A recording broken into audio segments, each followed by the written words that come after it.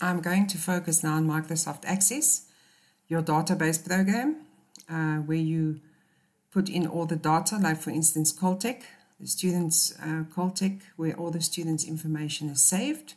So you open database, and then you will create a blank database.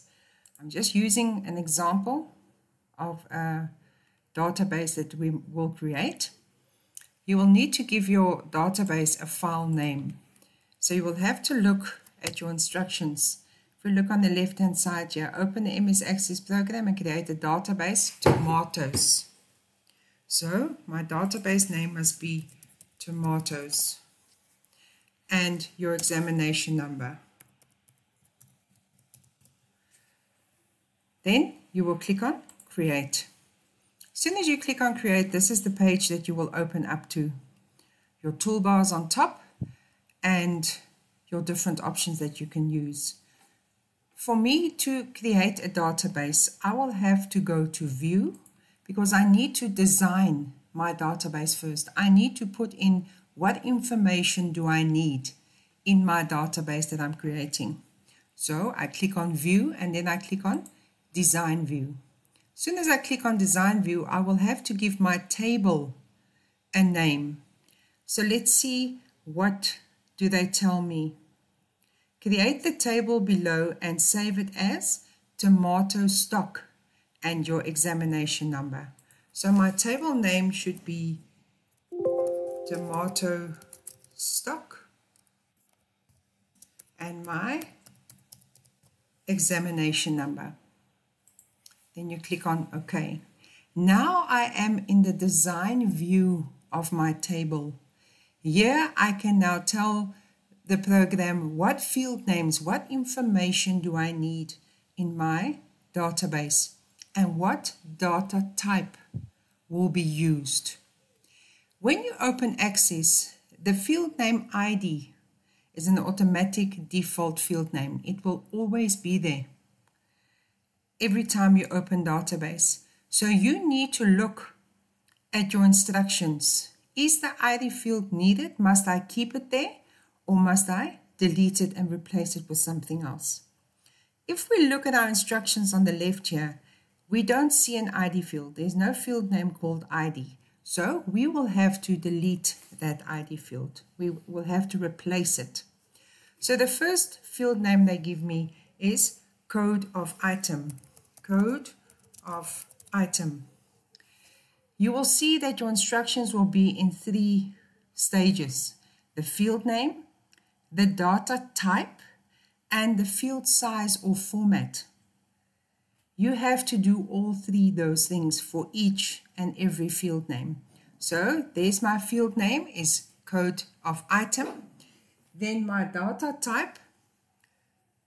If you look at access, there's my data type. As soon as I click there, my little down arrow appears. When I click on the down arrow, there's different options of data type that I can put in. If I look at my instruction, this data type should be text. So let's make it long text. Okay. And then what must the format be of this field or the size of this field? The text must be 4. So we can make this actually then short text and we can make at the bottom you'll see field size. You delete whatever is there and you make it the four that they instruct you. Let's go to the next one. Name of product. Name of product data type is also text. So I can click on my down arrow select short text. Field size should be 25 Next instruction or the next field name, supplier is also text, field size 15. 15. Next one is date received. Date received, the data type is date or short date. Go to date and time. Format. what type of date must this be? They tell me it's a short date. So I click on format and I click on the down arrow. Here I've got my different options. General date, long date, medium date, short date. That's what I'm looking for. Then I make it short date. Next one, price of stock must be currency. My data type must be currency and with two decimals. At the bottom it says format is currency. Decimal places is auto. They don't want it auto, they want it two decimals. So if I click on auto, there's my down arrow. Click on the down arrow and here I can choose from 0 to 14. So it must be two decimal places.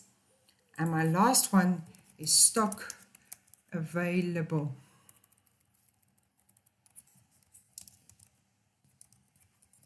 Stock available and the data type is yes or no. My data type is a yes or a no. There's my yes or no.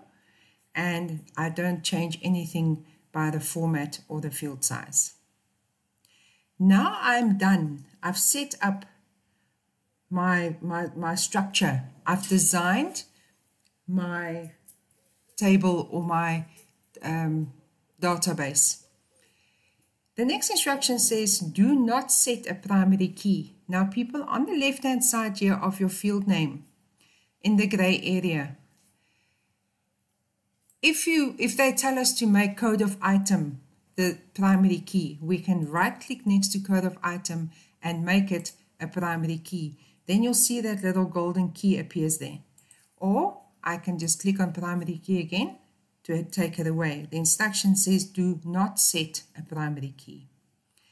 Then they tell us save the table and print the structure of the database. Now people, the structure is a very, very important part of database, you will have to print a structure.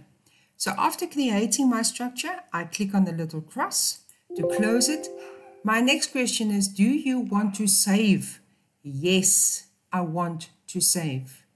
Now on the left-hand side, you will see under tables, there's your tomato stock table that you created. If I want to print this, unfortunately, it not, it's not just file and you'll see print is not even available. So we'll have to go the long way. Database tools, database documenter, select all, options. In my options menu, I make sure that only names, data types and sizes are selected and nothing else. Okay, and I click on OK again. And there's my structure that I will have to print. Now, before you print the structure, make sure that your information is correct on the structure. Your the field name, your type, and your size, especially the sizes, because you will get marks for each one of those. You will get marks for the, for the uh, database name, the table name, and for each field and size that you put in and for printing the structure. Now, when I get here, I can go to print and I can print it normally like I would. Then I close my print preview. That is how you create a structure or a table in database.